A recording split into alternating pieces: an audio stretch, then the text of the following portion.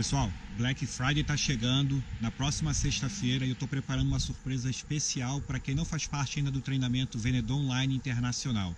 Então fica ligado aí no canal que na segunda-feira vou fazer um vídeo e vou falar para vocês o que, que é. Um abraço, tamo junto.